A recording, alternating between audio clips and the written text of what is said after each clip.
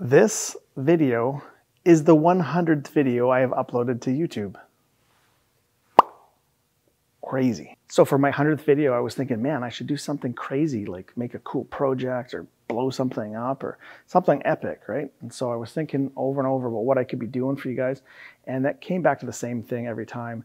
I need to make a video for you guys just to say thank you from the bottom of my heart for subscribing to my channel and supporting me uh, for the last three years.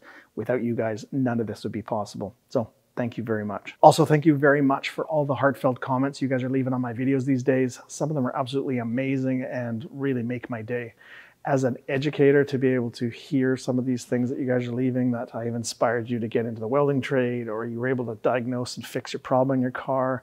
Uh, things like inspiring you to pick up tools and start designing and making a pinball cabinet those are great to hear. And it really motivates me to keep going and make better and better content for you guys in the future. And it's crazy how things develop. If you had come and talked to me three years ago and said, hey, guess what? There's a global pandemic.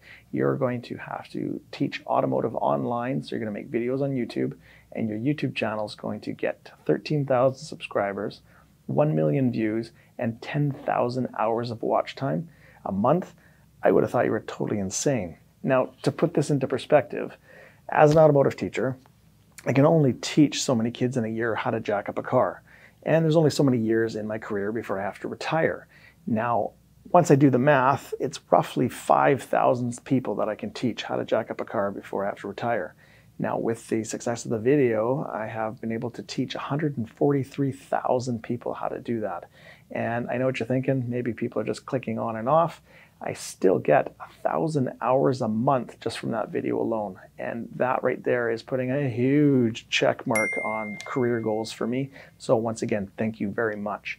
So what are the next 100 videos going to look like for the channel? Now, from the 100 videos that are up on the channel, you probably have an idea of what we're about. However, if I had to describe my channel in a couple words, I would say we are a tech ed or a shop class YouTube channel. So anybody that's wanting to learn how to do things or learn new projects for automotive, metalworking, welding, woodworking, electronics, drafting, robotics, all that good stuff. And I've got a ton of ideas for the future. Things like um, do some more arcade cabinets. I want to build a shoot 'em up cabinet and maybe a driving sim. I've got an old car in here, my 67 Parisienne. I'd like to maybe start doing a restoration series on that. Uh, we've got an old 62 Harley in here we need to restore. Uh, I'm actually a Red Seal tool and die machinist by trade, so I wouldn't even mind starting to doing some metalworking and machining on lathes and all that kind of stuff.